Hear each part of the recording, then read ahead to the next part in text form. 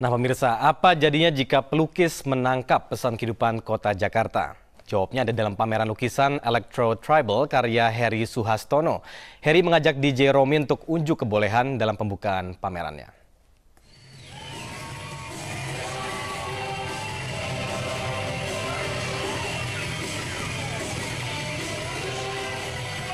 Kota Jakarta menawarkan dinamika kehidupan yang menarik untuk dieksplorasi menjadi bahasa seni.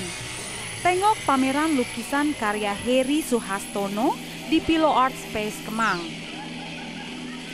Heri mencoba menceritakan kehidupan Jakarta dalam lukisan-lukisan abstraknya. Memilih judul Electro Tribal, Harry menggunakan cahaya sebagai simbol hingar-bingar Jakarta yang dilahirkan dari aliran elektronis. Permainan warna dalam lukisan Harry memberikan ruang bagi penikmat lukisan untuk berimajinasi pada ranah realitas abstrak ibu kota yang kadang terlupakan.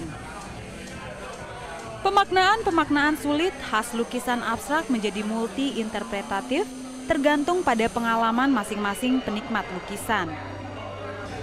Sejujurnya, saya baru lihat warna dari Mas Heri ini. Luar biasa ini sesuatu yang lain, sesuatu yang baru dengan keberanian ya.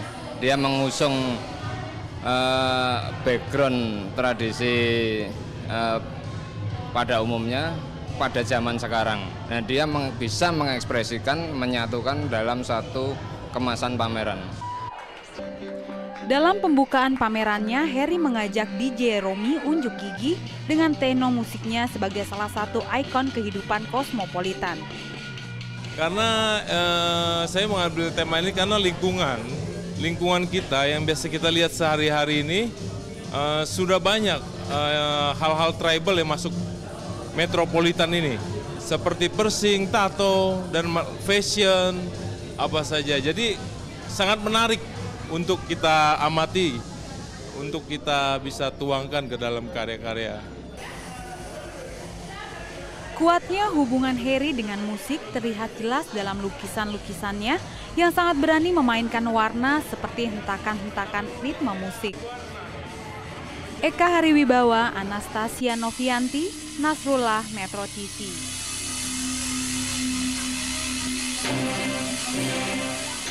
Ya ternyata tidak hanya lukisannya tapi rambutnya juga tribal. Oke.